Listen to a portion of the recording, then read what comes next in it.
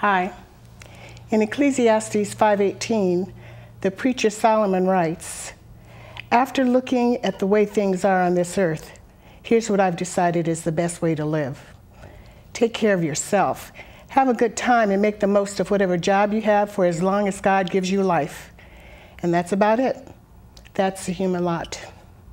Is this also your belief that the only earthly good men and women can look forward to is to eat and drink well and have a good time? Compensation for the struggle for survival these few years God gives mortals on earth?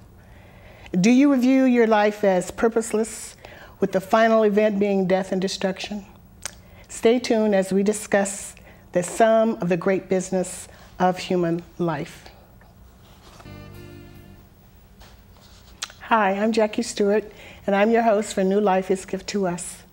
And this is your weekly Bible study that we enjoy bringing to you so that you can go through the Word of God with us and learn something that God wants you to know, to believe, and to do.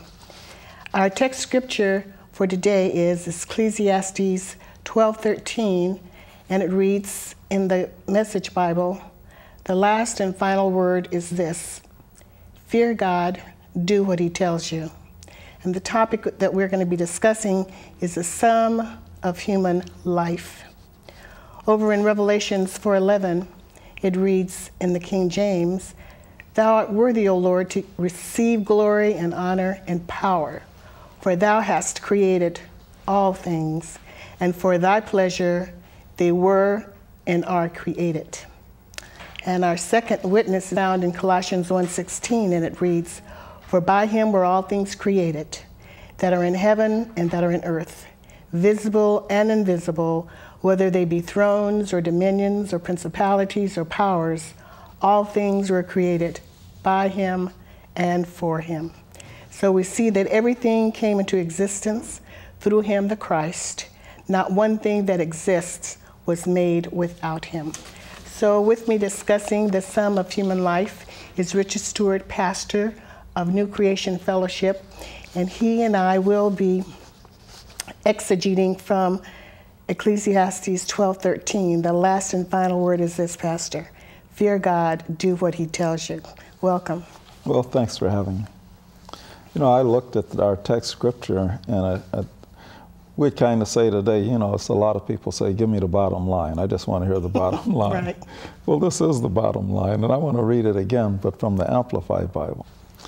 And it says, uh, All has been heard. The end of the matter is fear God, revere and worship Him, knowing that He is, and keep His commandments, for this is the whole of man. The full original purpose of His creation, the object of God's providence, the root of character, the foundation of all happiness, the adjustment to all inharmonious circumstances and conditions under the sun, and the whole duty of every man. Mm. It wraps up everything in, man, in life that man really wants.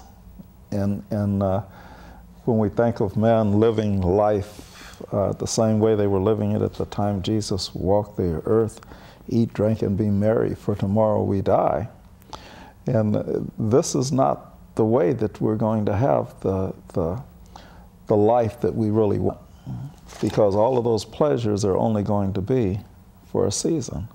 You know, one reason for this lesson was if you look at certain aspects and people in the world, that seems to be what they're about. It's not anything but about pleasure. And when you tell them something like, well, you know, you can live debt free, they just look at you blankly like, well, what would be the purpose of that? Yeah, why, why would anyone want to do that? Right because we're and when we when we look at our text scripture and it says the whole duty of man is to to believe that God is and obey his commandments. Well you cannot obey his commandments if you are in debt a slave and a slave to debt because the debt is now your master. The debt tells you what to do. In fact you know there's a commercial that says you know, my credit score is between 450 and 800, and people are very proud of that. The fact that they have a high credit score. Right. It would be better to have a zero credit score with zero credit and doing the things that God wants you to do. And also having the ability to do the things that you desire, because God wants us to meet our desires, but doing them in such a fashion that you're not in bondage to someone that's lending you money. Hmm. Now, one of the things I like to point out is that when you read from Revelations, it says all things were created for His pleasure. Mm-hmm. And each one of us need to look and say, Am I pleasurable to God? Am I giving God pleasure? Am I fulfilling what He created me to do? Because ultimately, the Word of God says that's what's going to happen, is what He intended to have happen from the beginning. And I believe when you read um, Ecclesiastes 12:13 in the Amplified, it stressed the knowing part and not not knowing about God, but knowing God, so that you know when you're uh, pleasuring Him, so that you know that's your goal. the only way that we're going to know for sure that we're doing that is to know that we're fulfilling the original purpose and intent that He had for each one of us. So that shows us that God is God of purpose. Nothing that we see, visible or invisible, on this planet that is good is without purpose. Now, in the Amplified Bible, in uh, in Psalms uh, chapter 19, uh, not Psalms, but Proverbs chapter 19, verse 21, in the King James it says, There are many devices in a man's heart, nevertheless, the counsel of the Lord that shall stand. That counsel means the original intent and purpose of the Lord says mm-hmm. it's going to stand. In fact, that's the definition of purpose, the original intent for the creation of a thing or, or, the motive for doing a thing. Right. Now, in the Amplified, I really like this because it, it brings out one thing. It says, Many plans are in a man's mind, but it's the Lord's purpose for him that will stand. Mm-hmm. Not just the Lord's purpose, but the Lord's purpose for each one of us individually. Now, that's going to stand.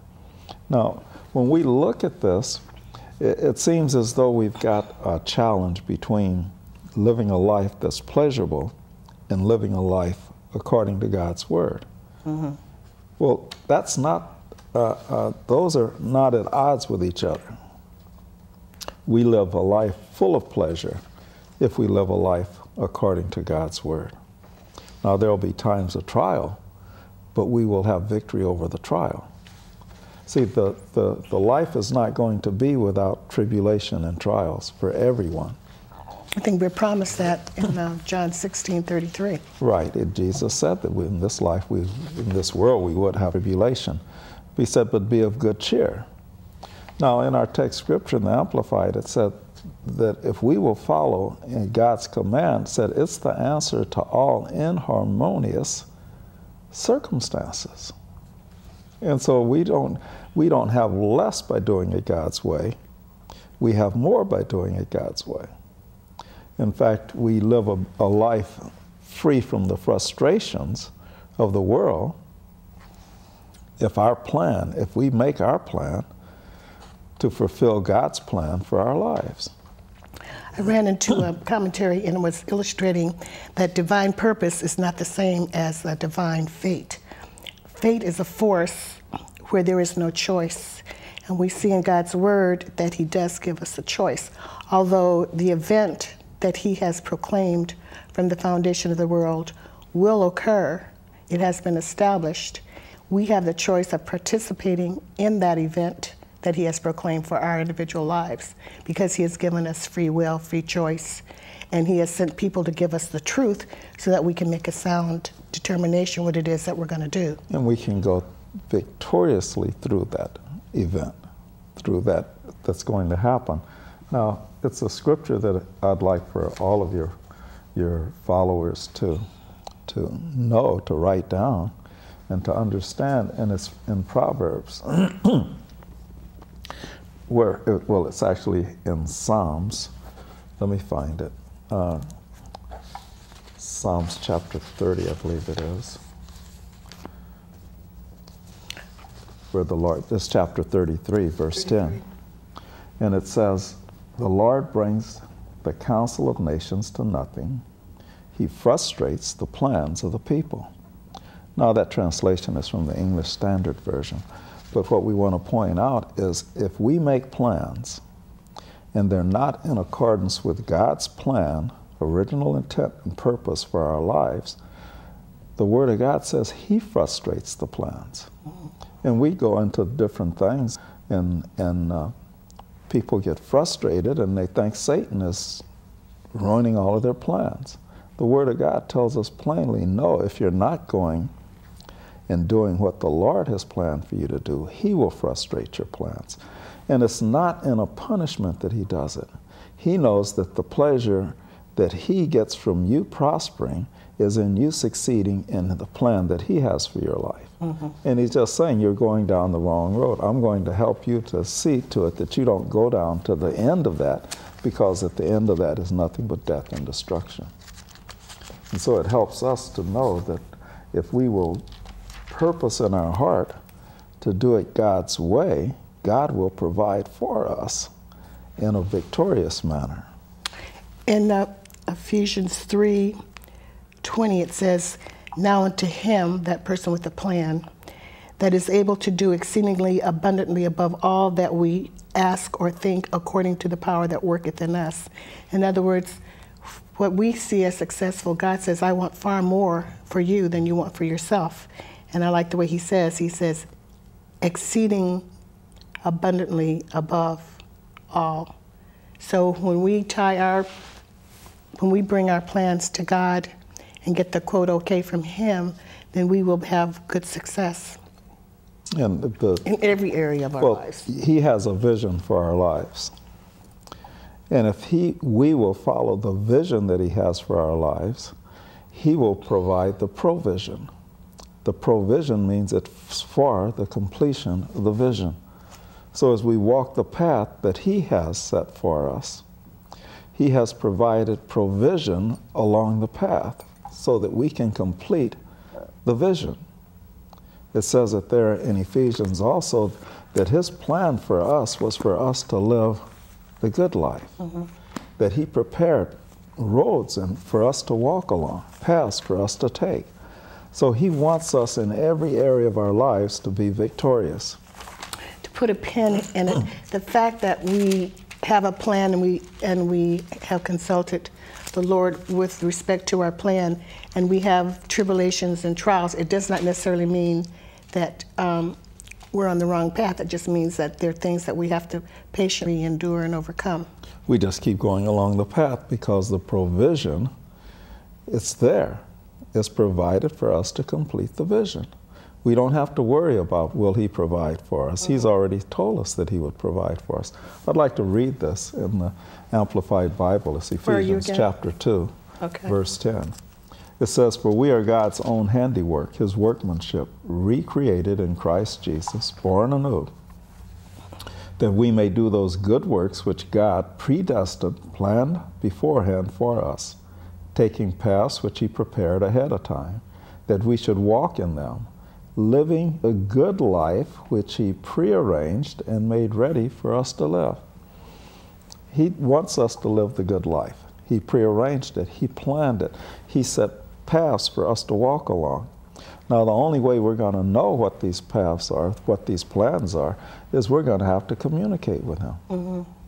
We're going to have to talk to Him. We're going to have to listen to Him. We're going to have to question Him. We don't know in and of ourselves, but He knows. And He tells us in His Word what His original plans and purposes are for mankind. And it's next week. Thank you, Pastor.